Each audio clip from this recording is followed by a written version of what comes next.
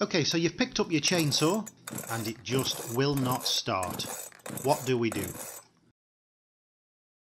First of all, has the engine got any compression? That's that bounciness as we pull the recoil cord there. And we need that in order for the engine to work correctly. A lack of this may indicate excessive wear on the engine and we may not ever get it running correct. It might be a trip to the repair centre because it's not a quick easy fix. But if there is plenty of compression there, but the chainsaw still won't start, then we can look into this a little further.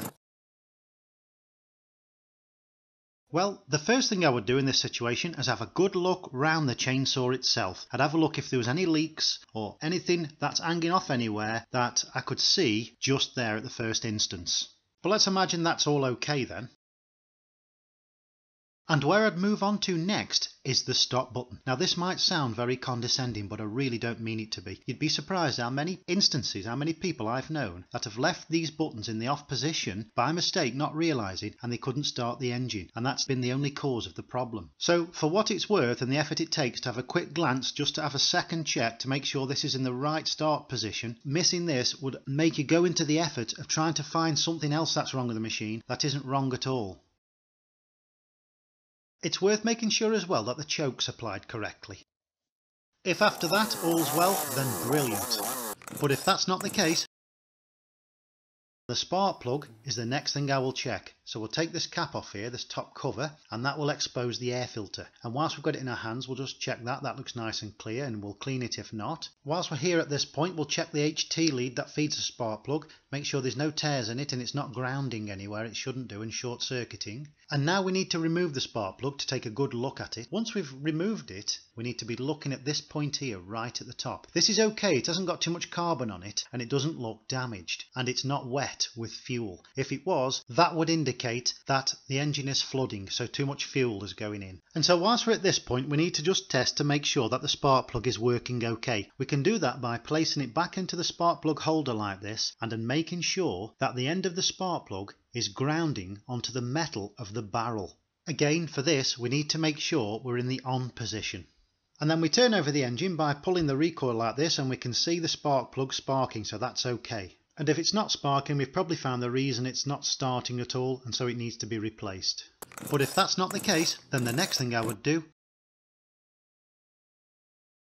is check the quality of the fuel and take a look inside the fuel tank. The best way to do that is to get a little torch and have a look inside there and make sure that the fuel pipe is reaching into the fuel, it's all there and present and no tears in it. And just check that it's clean, no foreign material in there like dirt and crud and then I would reach in and pull out the fuel filter. We can see there it's attached to the fuel line and it all looks okay. There's no cracks in the fuel line. We can take a better look now it's actually out. I normally take these fuel filters off and check them visually for any dirt and crud and I also check them for blockages. I clean this end here with a piece of cloth or something like that and then blow through it and that seems okay. And we can generally tell now at this stage whether that fuel inside there has got a, a, stale smell or not. If it is stale then it's best to just tip it away and replacing it for what it costs. Of course if that does it and it's working okay fantastic but if we're back to this point again then we need to go a little further.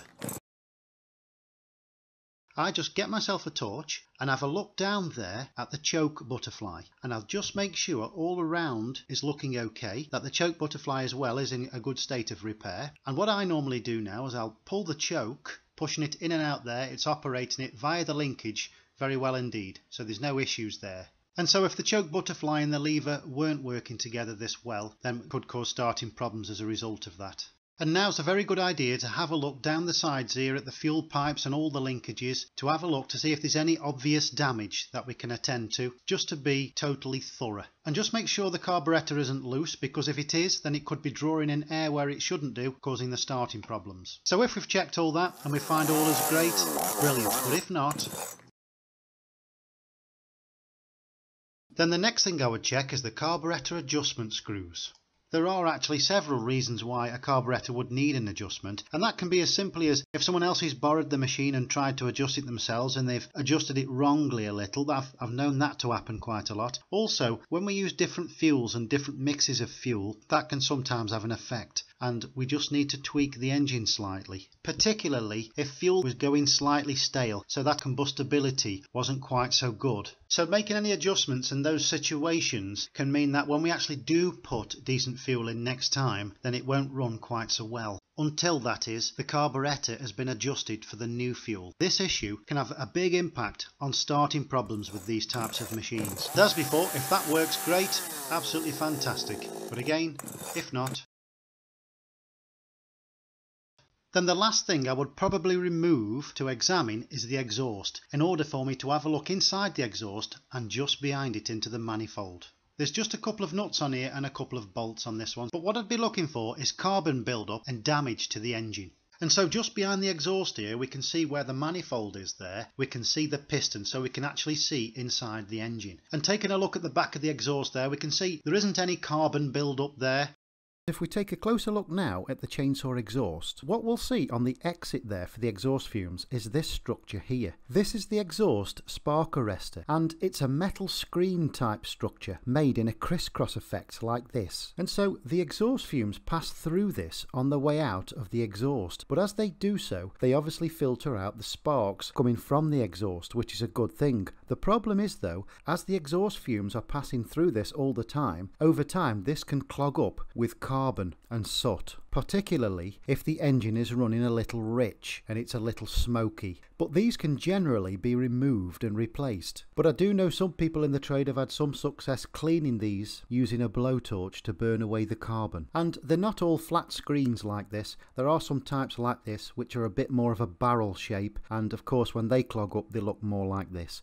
So we've got these main two types here. But the reason that they relate to the engine bogging down is that when these screens get clogged up, the exhaust fumes can't get out of the exhaust properly and that allows a build-up of exhaust fumes inside the engine that can't escape. And of course if we've got a build-up of exhaust fumes in there combustion cannot take place properly. It interferes with that air to fuel mixture and the whole combustion process. And this is a problem that's quite common in these types of exhausts. And so in my opinion this is either a case of replacing this screen filter or cleaning it. And just taking a closer look back here at the piston and inside the engine, we can see there that the piston itself looks like it's in a good state of repair. There's no major score marks or any evidence of wearing and overheating in there, so that looks okay to me. But if there is any evidence of damage inside here, then it needs to go to a repair centre. It's far more than what can be done at home. That's if the machine's worth repairing, because sometimes the cost of doing so can be worth more than the machine itself. And to make things a little clearer here, if we show you a piston, and this is normal, it's a good one, and there's no damage on this, and then we'll show you one here to the right, which is scored. So you can see the differences in the two. You can see in the scored one there that there are lines going down where there's been metal transfer between the piston itself and the barrel because it's got too hot. So this is completely damaged and the engine will not run like this. This is extremely scored. There is a level of scoring much less than this, which would result in the engine not starting as well. As I say, this is very extreme.